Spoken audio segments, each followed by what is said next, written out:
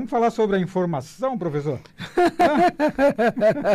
Eu acho que está todo mundo cansado de, informação, né, Ivanildo? Mas o que a gente faz com essa informação, né?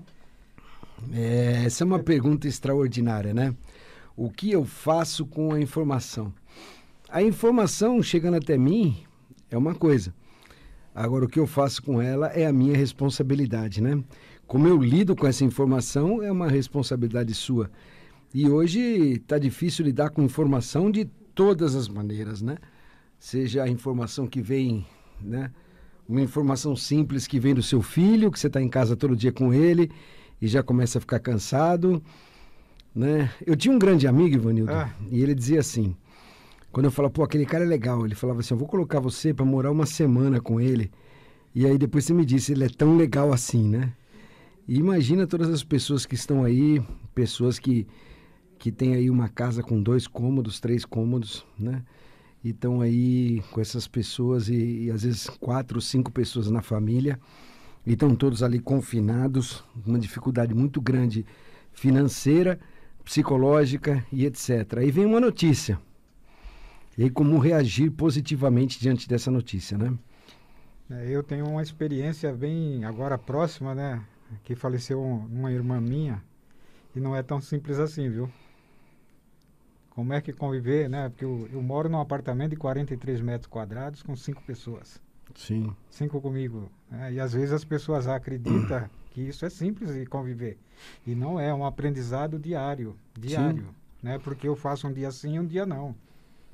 É muito complicado. Mas assim, mas eu sou um cara de muita sorte, né? Eu tenho um cara de muita sorte porque eu tenho amigos e amigos que.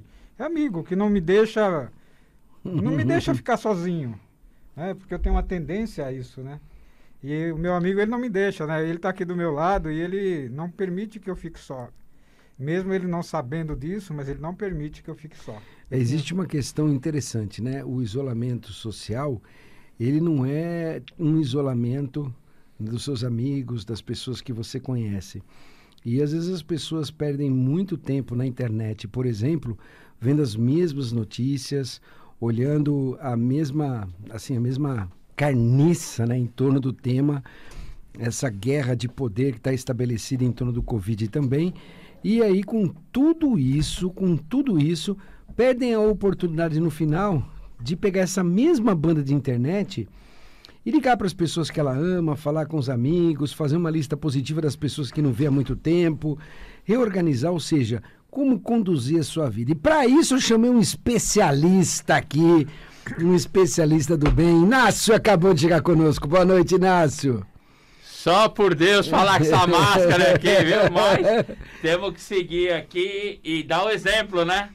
Então, minha gente, olha, realmente essa guerra de informações, ela tá muito louca, muito maluca. Mas uma coisa importante é você buscar os canais corretos. E uma coisa, independente desse coronavírus, é que se você ouve notícia ruim todo dia, como é que você acha que seu dia vai ser? Como é que você acha que sua vida vai ser? Se você pega esses programas de televisão que só fala coisa ruim, a sua vida vai ser ruim, minha gente. Desgraça, morte, atropelo, isso acontece todo dia. Um casal, um homem mata a mulher, a mulher mata o homem. E aí, você vai fazer o que da vida? Vamos mudar de canal. Vem aqui no que eu faço com isso. Não, e o pior, né, Inácio, que assim, antes do, do Covid, a pessoa já tinha né, aquele hábito de assistir aquele programa que só fala de morte, só fala de tudo. Só que no dia seguinte, ele saía para trabalhar, oxigenava o cérebro, oxigenava a mente, mudava de padrão, trocava de ambiente e voltava no final da tarde meio de saco cheio para assistir o mesmo programa de novo. Mas, no entanto, existia uma rotina que o tirava desse, desse processo, desse meio. Isso acabou. Então, assim, esse mesmo programa agora tem um efeito negativo né? não é científico isso, mas multiplicado por 10, multiplicado por 20, vai, vai multiplicar né, pelo inverso da sua capacidade de ser resiliente, né? Pela é. sua capacidade de aguentar tudo isso aí de uma maneira inteligente. Ah, maneira resiliente. Você quer um limpador de para-brisa aí Não, a coisa aqui tá feia, rapaz. Aqui tá uma coisa feia. Eu não, é, a máscara e, os, e o óculos não convivem muito bem, viu? É bem difícil. E meu óculos fica aqui toda hora, aqui embaçando, tá difícil. Mas vamos lá.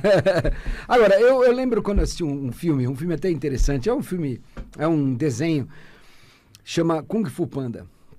E tem uma hora no Kung Fu Panda que é extremamente interessante, né? Então ele chega assim, mestre Ogui, mestre Ogui, eu tenho uma péssima notícia. Aí o mestre Ogui, oh, Shifu, não existe notícias ruins, existe a notícia. Nós é que a tornamos boa ou ruim. ruim. Aí ele fala assim, o dragão guerreiro fugiu, o dragão... Oh, isso é uma notícia ruim. ou seja, por mais preparado que você seja, quando a notícia chega e ela te confronta, inevitavelmente você tem uma reação, uh, porque afinal de contas, se picar sai sangue, né, Inácio? Então você tem essa reação, e para mudar essa reação é preciso muita determinação, é preciso olhar para você todos os dias, é preciso refazer os acordos, não só externos, mas também internos. Né? Ou seja, se, pro, é, se colocar à disposição para ver outros programas, fazer uma agenda positiva das pessoas que você não vê há muito tempo e talvez ligar para elas, entrar em contato, né? Lá, quantos amigos você deixou de conversar ao longo da sua história e que hoje é tão fácil você encontrá-los no Facebook? E é uma oportunidade para você reatar laços, né? Então aqui a gente está dando dica de como você pode viver melhor no final, né?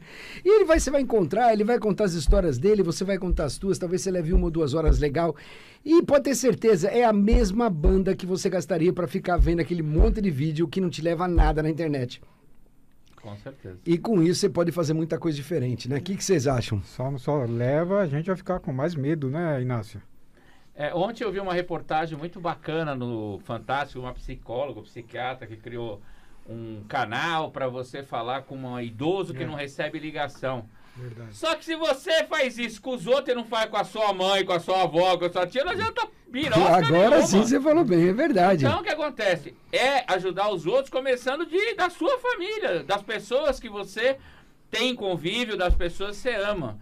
Então, gente, eu acho que uma coisa eu aprendi até com o Arthur, né? O Arthur, às vezes ele sonha e ele fica com aquele negócio na cabeça, pai, eu não consigo dormir. O que que eu faço com isso? Eu ligo a televisão, ponho lá no Mr. Bean e a gente dorme.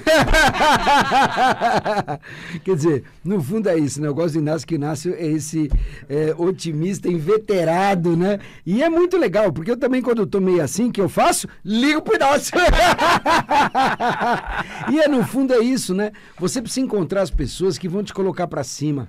Quais são as pessoas que. Esse novo acordo que é legal, né? Quais são as pessoas que te potencializam? Quais são as pessoas que te colocam para cima? Quais são as pessoas que te colocam para baixo? Ou, ou, seja, você precisa aprender a, a reorganizar e olhar para sua vida, olhar para o seu momento.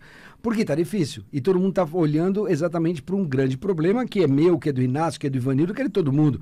Você olha para o seu emprego e fica, ai meu Deus, o que, que vai acontecer? E nós somos empresários, mas nós estamos olhando porque, ai, meus clientes, ai, tudo.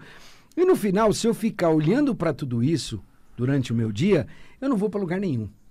E o nosso cérebro, gente, pelo viés de negatividade, a probabilidade é de 4 para 1. 4 para negativo para 1 positivo. Então, se eu não fizer os meus reacordos internos, se eu não olhar para minha história, se eu não acordar todo dia e falar assim, não, hoje vou fazer um dia legal, se hoje não, se eu não trabalhar meu cérebro, meu inconsciente, e aí vai uma dica: trabalhe antes de dormir. Amanhã vou ter um dia maravilhoso e durma. Deixe o seu inconsciente procurar essa maravilha que pode acontecer no seu dia seguinte. Vibe Mundial 95 FM,